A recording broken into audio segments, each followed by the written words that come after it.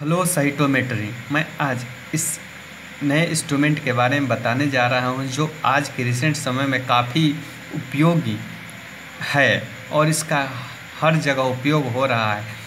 इस टेक्निक द्वारा हम लोग एक सिंगल सेल के डिफरेंट पैरामीटर मतलब मल्टी पैरामीटर मतलब सेल का counting size shape structure intercellular structure और सरफेस के बारे में आसानी से जानकारी प्राप्त कर लेते हैं। उस इंस्ट्रूमेंट का नाम है फ्लो साइटोमेट्री अब यहाँ पर दो टर्म का यूज़ किया गया है। जैसे फ्लो साइटोमेट्री मतलब फ्लो और साइटोमेट्री दोनों मिलके बने हैं। The flow measuring of physical and chemical property of single cells in a fluidic stream मतलब फ्लो मतलब एक फ्लूड स्ट्रीम मतलब लिक्विड के धार या गति में बहते हुए लिक्विड से सेल के को का मेज़रमेंट या एनालिसिस करना को फ्लो साइटोमेट्री कहते हैं। साइटोमेट्री माने सेल के मेज़रमेंट फ़िज़िकल केमिकल प्रॉपर्टी और अन्य का। तो ये दो टर्म हो गए फ्लो एंड साइटोमेट्री दोनों मिलकर फ्लो साइटोमेट्री बन गए। अब इस फ्लो साइटोमेट्री के का प्रिंसिपल क्या है?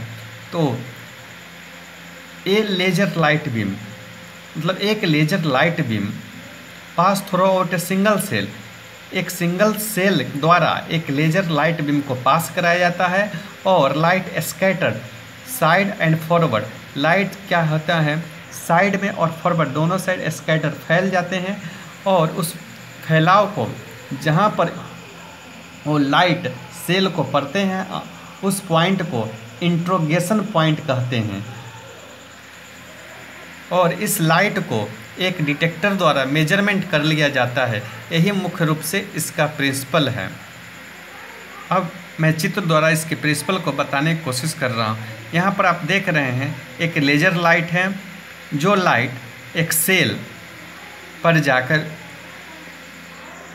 सेल पर जाकर पड़ता है तो कुछ लाइट सीधे फॉरवर्ड स्कैटर्ड सामने जाते हैं और थोड़ा फैल जाते हैं। और कुछ लाइट है जो लेफ़्ट एंड राइट सेल के साइड स्कैटर्ड मतलब साइड में फैलते हैं।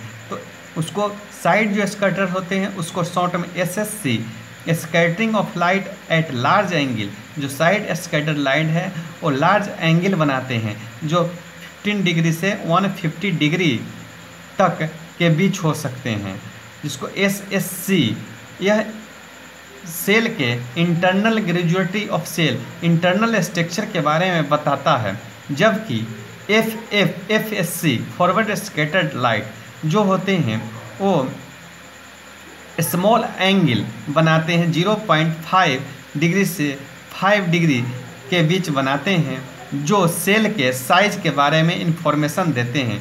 तो इसका प्रिंसिपल यही हुआ कि एक लेजर लाइट सेल के पास से पास होता है और वो लेजर लाइट जब सेल पर पड़ता है तो स्कैटर्ड हो जाता है, मैंने फैल जाता है।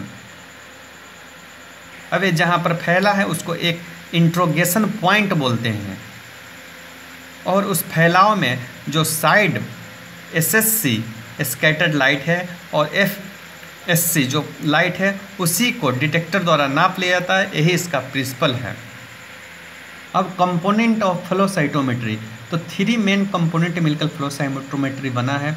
पहला तो ये फ्लो सेल या फ्लूडिक सिस्टम, दूसरा ऑप्टिकल्स, तीसरा इलेक्ट्रॉनिक्स। इलेक्ट्रॉनिक्स जो है, इसमें तीन पार्ट है, डिटेक्टर, एम्पलीफिकेशन सिस्टम एंड एक कंप्यूटर। एक कंप्यूटर भी जुड़ा होता है। तो फ्लो सेल में इसके क्या काम है? तो सैंपल जो होते हैं, वो ट्यूब में फ्लो करते हैं। मैंने आगे की ओर बढ़ते हैं, उसको फ्लो सेल का काम है। फिर ऑप्टिकल का क्या काम है? तो जो अभी ऊपर प्रिंसिपल में मैंने बताया है कि लाइट को ऐसे साइड स्कैटर और फॉरवर्ड स्कैटर करता है, उसको ऑप्टिकल फ़िल्टर द्वारा कलेक्ट कर लिया जाता है और उस लाइट को डिटेक्टर के पास भेज दिए जाते हैं, जो फ़ोटो करेंट द्वारा डिटेक्ट करने का काम करते हैं। अब मेज़रमेंट सिस्टम तो मेज़रमेंट में जैसा कि यहाँ पर क्या है कि जो सारे लाइट जो स्कैटर्ड लाइट है उसको डिटेक्ट करके एनालिसिस करके डाटा को इवलेट करके रिज़ल्ट दिया जाता है। तो ये तीन मुख्य भाग हो गए साइटोमीटर के।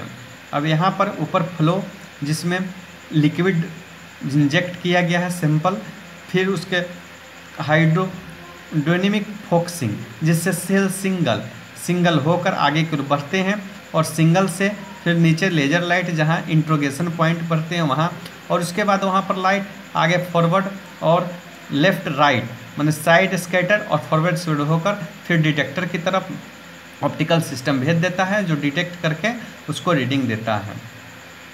लेकिन ये टेस्ट लगाने के पहले हम लोग सैंपल तो सैंपल जो लेते हैं, उसका प्रिपरेशन करते हैं तो सैंपल में ब्लड सैंपल हो सकते हैं मोनोन्यूक्लियस सेल और फिर फिर ब्लड सैंपल होते हैं, फिर बोन मैरो सेल होते हैं, फिर बॉडी फ्लूड होते हैं, सस्पेंस कल्चर होते हैं और प्रिपरेशन फॉर एडहेरेंस सेल इतने तरह के सेल होते हैं, इससे भी अधिक हमारे पास स्पेसिमेन आ सकते हैं। तो इन स्पेसिमेन को अलग अलग तरीक़ों से हम लोग प्रिपेयर करते हैं। लेकिन कॉमन मैं टेक्निक बताते जाता हूँ, बताने जा रहा हूँ, जिसमें हम लोग कॉमन स्पेसिमेन कैसे बनाते हैं।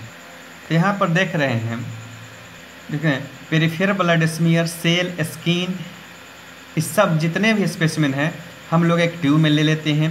और उसके सस्पेंसन बनाते सस्पेंसन में हम लोग फ्लोरेंस एंटीबॉडी ऐड कर देते हैं और जो उसके एंटीजेनिक साइट होते हैं, जिससे फ्लोरेंस एंटीबॉडी को डिटेक्ट करना होता है, उस में वह जाकर रिएक्शन करके एक दूसरे से बंध जाते हैं। ठीक उसी तरह जैसे किसी पेन का ढक्कन होता है और दूसरे पेन में लगाने पर फिट नहीं होता है, लेकिन सेम पेन का ढक्कन उसमें फिट हो जाता है कैप, उसमें फिट हो जाता है उसी तरह एंटीजन एंटीबॉडी एक दूसरे के पेन और कैप जैसा होते हैं, जो आपस में एक दूसरे से मिलकर सेट हो जाते हैं। और फिर इसको फ्लोरेंस जब लाइट गुजरते हैं लेजर लाइट तो ये साइड स्कैटर और फॉरवर्ड स्कैटर लाइट को बिखेरते हैं, जिसको हम लोग स्कैटर्ड करते हैं, जिसको डिटेक्टर द्वारा नाप ले जाते हैं। तो ये जनरल इसका प्रिपरेशन सिंपल का मेथड में बता दे, दिया हूँ।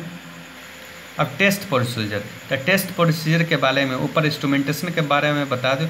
पहले तो सैंपल का सिलेक्शन करेंगे, फिर सैंपल प्रिपरेशन करेंगे, फिर स्टेनिंग प्रोसीजर फ्लोरेंस लेवल एंटीबॉडी से स्टेन करेंगे, और फिर उसके बाद स्पेसिमेन को उस इंजेक्ट कर देंगे इंस्ट्रूमेंट के अंदर फ्लोसाइटोमीटर के अंदर, और फिर डिटेक्टर द्वारा डिटेक्ट किया जाएगा, और उसके बाद वो क्वांटिटेटिव एनालिसिस करके डाटा को डिटेक्टर इवलेट करके रिज़ल्ट प्राप्त कर लेंगे। अब मुख्य रूप से इसका अप्लीकेशन यूज़ क्या है? तो analysis of D N A R N A D N A R N A के एनालिसिस में identification of surface antigen cell markers मैंने सरफेस एंटीजन हर अधिकतर सेल के ऊपर, जो मैं ऊपर बता चुका हूँ एंटीजन होते हैं, जो एंटीजन के सेल के बाहरी भाग में जो एंटीजन उसको डिटेक्ट करने के लिए आइडेंटिफिकेशन करने के लिए उपयोग किया जाता है सेल मार्कर, जैसे कैंसर मार्कर होते हैं। जो ट्यूमर मार्कर होते हैं, उसी तरह ये है एक तरह का सेल के मार्कर का काम करता है किस किस एंटीबॉडी से कौन सेल पहचाना जाएगा। उसके बाद इसका उपयोग रिसर्च लेबोरेटरी में सेल काउंटिंग में सेल के कैरेक्टर के बारे में फ़ंक्शन के बारे में प्रॉपर्टी इत्यादि के बारे में उपयोग होता है। फिर क्लिनिकल डायग्नोसिस में बैक्टीरियल डायग्नोसिस कैंसर के डायग्नोसिस में नॉन हॉजिकन्स लिम्फोमा के डायग्नोसिस में उपयोग होता है। इसके अलावे इसका जेनेटिक इंजीनियरिंग में और जेनोटाइपिंग स्टडी में मन जीन के स्टडी में उपयोग होता है फेनोटाइपिक मतलब फ़िज़िकल कैरेक्टर बाहरी प्रॉपर्टी के बारे में सेल के बाहरी प्रॉपर्टी के बारे में भी उपयोग होता है। इसका अन्य उपयोग पार्टिकुलर रूप से इम्यूनोफेनोटाइपिंग मतलब इम्यून सेल के फेनोटाइपिक मतलब बाहरी प्रॉपर्टी और इम्यून सिस्टम के बारे में, अन्य प्रॉपर्टी के बारे में जानकारी प्राप्त होता है। और यह ब्लड के एनालिसिस में और बोन मैरो सेल्स जो बोन मैरो में होते हैं प्रिकॉसर सेल्स जो मैचूर होने के पहले बोन मैरो में रहते हैं, उसके काउंट के बारे में बताता है। अगर जो काउंट हाई है तो कैंसर को इंडिकेट करता है।